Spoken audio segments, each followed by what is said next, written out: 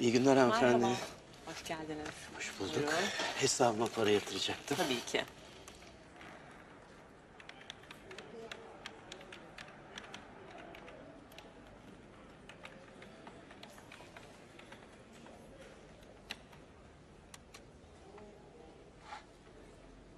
Üzgünüm ama Sait Bey işleminizi yapamıyorum. Nasıl yapamıyorum? Bu isimde bir hesap yok. Vatandaşlık numaranız çıkmıyor bizde. Olur mu öyle şey? Ben kendi ellerimle açtım o hesabı. Bir yanlışlık olacak.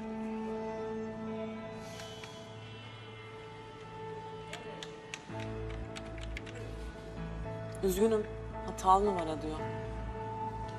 E iyi o zaman yeni bir hesap açalım.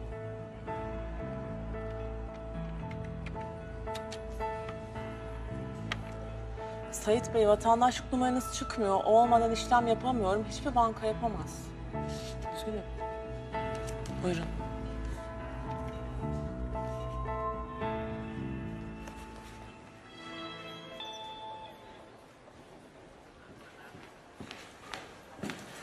Merhaba.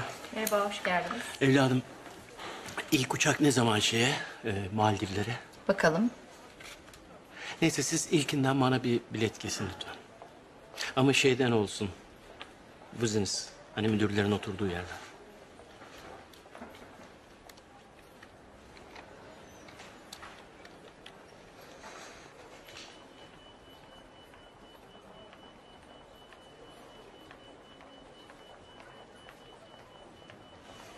Pardon, çok kısa bekleteceğim.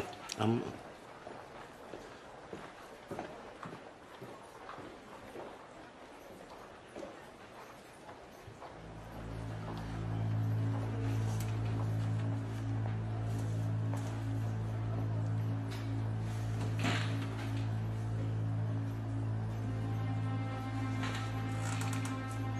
Çocuğum, bir bakar mısın? Hanımefendi hiçbir şey söylemeden gitti de merak ediyorum orada ne yazıyor acaba? Bakalım beyefendi.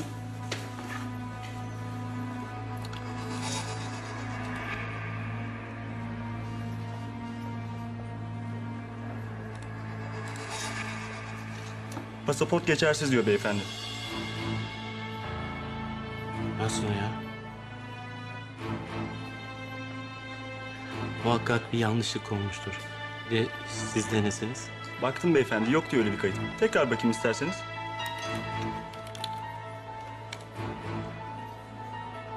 Numara yanlış. Vatandaşlık numarası. Onu bildirmeye gitti herhalde. Ne demekmiş o? Neyi bildirecekmiş? Siz bir yere ayrılmayın da gelir şimdi.